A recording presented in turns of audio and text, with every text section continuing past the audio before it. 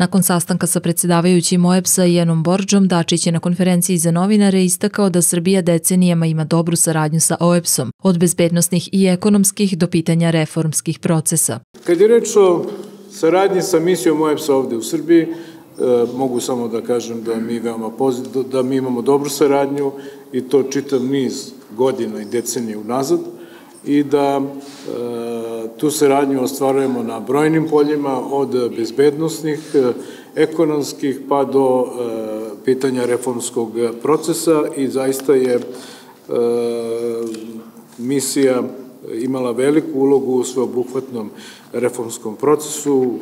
bilo da je reč o vladavini prava, jačanju ljudskih i manjinskih prava, promociji toleranciji nediskriminacije, e, upravljanja i reforme sektora bezbednosti, demokratizacije medija, e, demokratizacije političkog e, sistema i uopšte pitanje slobode medija. Ono što mi uvek molimo predsedavajućeg OEPS-a, to je da kad je reč o misiji na Kosovo i Metohiji,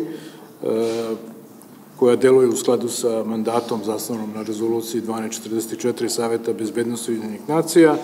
da e, se sačuva statusno neutralna pozicija. Ja sam upoznao u najkraćem e, Ijana sa situacijom na Kosovo i Metohiji, sa problemima koji postoje, pre svega koji su vezani za neispunjavanje obaveza koji su proistekli još iz Briselskog sporazuma. Evo sada je 10, sada je 11 11 godina od kad sam ja potpisao briselski sporazum e, zajedno sa Hašimom Tačijem i Catherine Ashton, međutim e, zajednica srpskih općina koja je glavna obaveza nije